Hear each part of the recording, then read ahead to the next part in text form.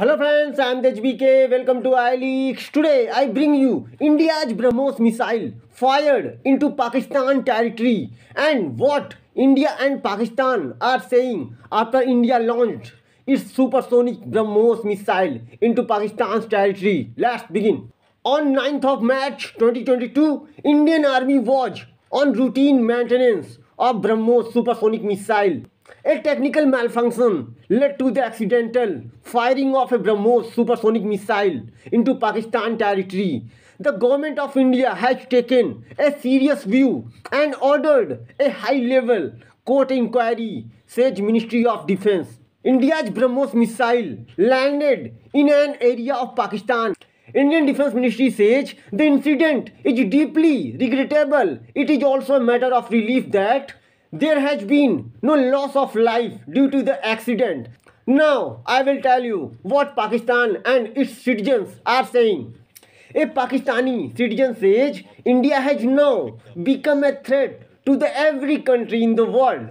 If India has missile could accidentally land on Pakistan, it could land on any country, anytime, anywhere. Yes, he is right. India can launch supersonic missiles into any country and drop bombs anywhere, anytime. And another Pakistani posted Imran Khan's photo and said, Imran Khan, after India misfired a BrahMos supersonic missile into Pakistan territory. You can see the picture. Some Pakistani making fun of Pakistan's air defense and posted a pic of PAF and says, okay, sleep Pakistan.